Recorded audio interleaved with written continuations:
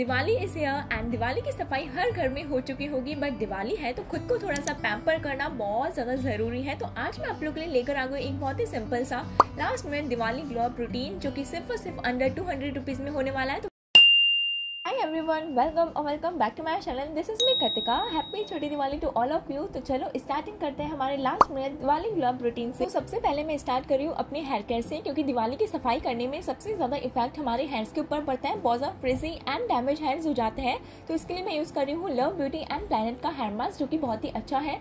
सिर्फ़ और सिर्फ़ इसका नाइन्टी नाइन रुपीज़ प्राइस है। एंड मैं आप लोग को सारी चीज़ें ऐसी बताऊँगी जो कि आप लोग लास्ट मिनट में कर सको। लाइक आप लोग दिवाली वाले दिन भी करोगे ना तो बहुत ही अच्छा रिज़ल्ट मिलेगा आप लोग को। तो ये वाला पूरा का पूरा हेयर मास्क आप लोग को अच्छे से एक बाउल में निकाल लेना है एंड उसके अंदर आप लोग को ऐड करना है एंड इतना भी ज़्यादा नहीं आता है, आप लोग को पूरा अच्छे से निकाल लेना है, ठीक है? एंड उसके अंदर आप लोग को ऐड करना है हनी यानी कि शहद, ठीक है? एंड मैं आप लोग को नेचुरल चीज़ें बताऊँगी, सारी की सारी, ऐसा कुछ भी नहीं है कि मतलब बहुत ज़्यादा यू नो बहुत ही महँगी चीज़ है ऐसा कुछ भी नहीं है, ठीक है? सबसे पहले आप लोग को ऐड करना है हनी एंड उसके बाद एलोवेरा जेल एंड आप लोग एलोवेरा जेल रेडीमेड ही यूज़ करना, वो यू नो लास्ट टाइम के ऊपर थोड़ा सा अच्छा रहेगा ओके एंड आप लोग इसे मिक्स कर लो एंड आपका एक बहुत ही अच्छा सा सिंपल सा हेयर मास्क बनकर अच्छे से रेडी हो चुका है। फिर आप लोग को आपके हेयर्स को सेक्शंस में डिवाइड करना है और इस हेयर मास्क को आप लोग आपकी लेंथ होती है ना, जो हेयर्स की लेंथ उसके ऊपर अप्लाई करना है, बहुत ही अच्छे से इवनली स्प्रेड करना है ओके एंड अगर आप लोग के पास यू नो अगर आप लोग को ऐसा चाहिए कि हमारे पास तो ये वाला हेयर मास्क है ही नहीं तो आप लोग को सिंपली एलोवेरा जेल लेना है एंड उसके बाद उसके अंदर थोड़ा सा दही ऐड करना है एंड थोड़ा सा विटामिन ई की कैप्सूल एंड थोड़ा सा हनी दैट्स इट आप लोग को इतना ही करना है ओके एंड उसके बाद आप लोग को आपके स्केल्प के ऊपर आपका एलोवेरा जेल अप्लाई करना है, जो भी आप लोग के पास अवेलेबल होना, वो आप लोग कर सकते हो। एंड क्या आप लोग को इतना सा आप लोग करोगे ना, आपके हेयर्स बहुत ही सुंदर हो जाएँगे। आप लोग को आराम से इसे वन हार तक अच्छे से रखना है एंड उसके बाद हेयर वॉश कर लेना है। तो अब मैं करूँगी अपने फेशियल हेयर्स को remove and Diwali glow routine में ये नहीं किया तो क्या किया? एंड आप लोग देख सकते हो, मेरी काफ़ी ज़्यादा ग्रोथ हो रखी है, बहुत ही बड़े बड़े हेयर्स हो गए हैं, ठीक है? एंड इसके लिए मैं यूज़ करती हूँ कार्मेसी की फेशियल रेजर एंड ये बहुत ही ज़्यादा अच्छी है, बहुत अच्छी है, बहुत ही ईजी टू यूज़ है, अच्छे से वर्क करती है, ठीक है? एंड सबसे पहले आप लोग को एक एलोवेरा जेल यूज़ करना है मैं यूज़ करी हूँ इंस्टेंट विदा का एलोवेरा जेल सबके लिंक्स मैं आप लोग को डिस्क्रिप्शन बॉक्स में प्रोवाइड कर दूँगी. आप लोग ज़रूर चेक करना चेक करना मत भूलना, ठीक है? आप लोग को जहाँ पे भी करना है ना फेशियल हेयर्स को रिमूव अच्छे से अप्लाई करो एलोवेरा जेल को भरपूर अच्छे से अप्लाई करो एंड आपकी यू नो जो भी रेजर होती है ना, उसे बहुत ही स्लोली ग्लाइड करना है आप लोग को. बहुत ही आराम से अच्छे से ग्लाइड करो एंड आप लोग देखोगी, आपके सारे के सारे हेयर्स बहुत ही ईजी वे में बहुत ही आराम से निकल जाएँगे एंड बहुत ही क्लीन स्किन हो जाएगी आपकी. एंड अब मैं करूँगी अपने ब्लैक हेड्स को रिमूव एंड ये मैंने बहुत टाइम से कर रही नहीं है। आज मैं आप लोग को एक यूनिक सी चीज़ बताने वाली हूँ, एक अलग से टेक्निक ठीक है? जिससे मैं बहुत टाइम से करती आ रही हूँ एंड मेरे ब्लैक हेड्स बहुत ही अच्छे से रिमूव हो जाते हैं। सबसे पहले चाहिए आप लोग को एक यूनो वैक्सिंग स्टेप्स मैं यूज़ कर रही हूँ वीट की वैक्सिंग स्टेप्स इसका एक छोटा सा पार्ट आप लोग को पतली सी स्टेप कट कर लेनी है। आप लोग देख ही सकते हो, जैसा मैंने किया ना, वैसे आप लोग को कर लेना है।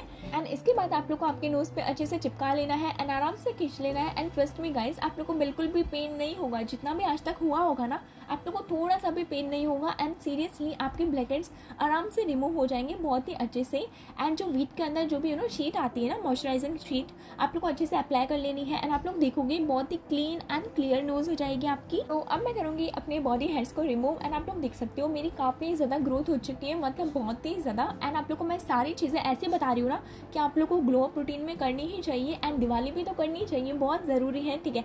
एंड वैक्सिंग के लिए मैं यूज़ करी हूँ वीट के स्टेप्स वैक्सिंग स्टेप्स आती है ना, बहुत ही ईजी टू यूज़ है। एंड आराम से आप लोग को बहुत ही अफोर्डेबल है। सबसे पहली बात तो सारी की सारी चीज़ें बहुत ही अफोर्डेबल बताई है मैंने आप लोग को। एंड सबसे पहले आप लोग को आपके हेयर्स पे हेड्स पे क्या? हैंड्स पे आप लोग को अप्लाई करना है अच्छे से टैल्कम पाउडर कोई भी पाउडर आप लोग अप्लाई कर सकते हो। एंड उसके बाद आप लोग को वीट के स्टेप्स को अच्छे से प्रेस करना है एंड बहुत ही अच्छे से रब करना है एंड उसके बाद खींच लेना है। बहुत ही सिंपल कोई भी इतना पेन नहीं होता है, ठीक है? बहुत ही आराम से हो जाती है एंड बहुत ही अदर ऑप्शंस भी है वैक्सिंग कर सकते हो, ठीक है? आप लोग रेजर कर सकते हो, बहुत ही अलग अलग ऑप्शंस होते हैं। बट इस बार मैंने सोचा कि सफ़ाई भी करी है डेड स्किन हो गई है टैनिंग हो गई है तो वैक्सिंग करना is the best option and अच्छे से यू नो टैनिंग रिमूव हो जाएगी, सब कुछ अच्छे से क्लियर हो जाएगा मेरे हैंड्स पे। एंड मुझे मेहंदी भी लगवानी है। मैं आप लोग को अच्छे से ब्लॉग बनाकर पक्का बताऊँगी दिवाली का। तो आप लोग यू नो मेरे ब्लॉग्स को प्यार देते रहो अच्छे से, ठीक है? अब मैं अपने फेस पे एक बहुत ही अच्छा सा, बहुत ही सिंपल बहुत ही नेचुरल सा फेस मास्क अप्लाई करने वाली हूँ, जिसके लिए मैंने यूज़ किया है मुल्तानी मिट्टी, ठीक है? एंड मुल्तानी मिट्टी बहुत ही अच्छी रहती है। अगर आप लोग को यू नो कोई भी अच्छी सी चीज़ चाहिए ना आपके फेस के लिए इंस्टेंट आप लोग को ग्लो चाहिए तो आप लोग मुल्तानी मिट्टी यूज़ कर सकते हो। बहुत ही अच्छी रहती है। एंड अगर आपका फेस यू नो आपकी स्किन ड्राई स्किन है तो मैंने यूज़ किया है, इसके अंदर रॉ मिल्क के अंदर यू नो जो भी मैंने सोख करके रख दी थी एंड अच्छे से अप्लाई कर ली। एंड अगर आपकी यू नो ऑयली स्किन है तो आप लोग यूज़ कर सकते हो नॉर्मल वाटर या तो फिर नॉर्मल कर्ट ठीक है? अच्छे से अप्लाई कर लो। एंड आप लोग को इसे छोड़ देना है अराउंड 15 टू 20 मिनट्स तक।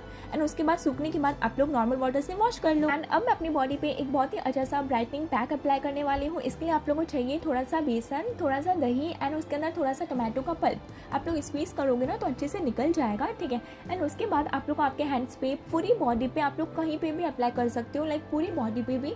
आराम से आप लोग को अप्लाई कर लेना है बहुत ही अच्छे से।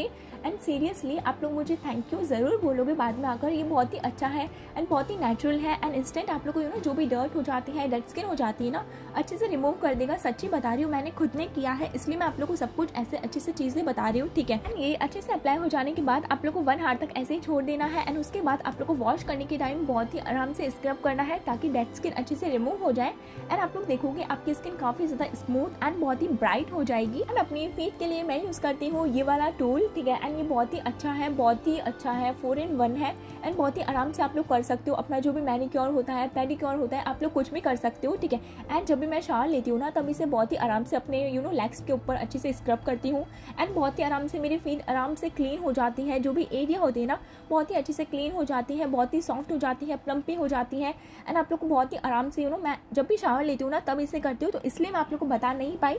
तो आप लोग आराम से कर सकते हो। कुछ भी ऐसा नहीं है। बहुत ही अफोर्डेबल है सारी की सारी चीज़ें। And yeah guys that's it about my today's video and मैंने बहुत ही अच्छे से ट्राई किया है कि मैं सब कुछ आप लोग को बहुत ही नेचुरल एंड बहुत ही अफोर्डेबल प्रोडक्ट्स बताऊँ। एंड बहुत ही अच्छे से आप लोगों को ग्लो मिलेगा। आप लोग आराम से करो। एंड मुझे कॉमेंट्स करके बताना आप लोग को कैसा लगा। एंड अगर आप लोग को थोड़ा सा भी अच्छा लगा होना तो please like share and subscribe to my channel and Diwali के बहुत सारे ब्लॉग्स आने वाले हैं। तो stay tuned okay bye love you all